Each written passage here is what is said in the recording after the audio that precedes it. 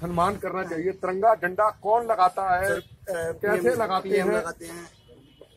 तूने फिर कैसे लगाया? तू किसी पार्टी का होता लगा देता। तूने झंडा कैसे लगाया? तुम ग्रेजुएशन किया पहले सर पे नहीं तू ग्रेजुएशन हाँ तू ग्रेजुएशन में क्या सीखा? सर सीखा है। नहीं तूने पढ़ाई सीख ली।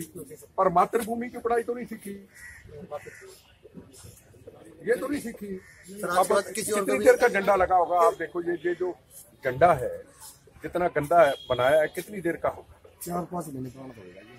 सर ये गाड़ी ज़्यादा धूल पे घूमी इसलिए हो तो ऊपर ही पानी फेरते रहे? नहीं सर इसको साफ़ नहीं करना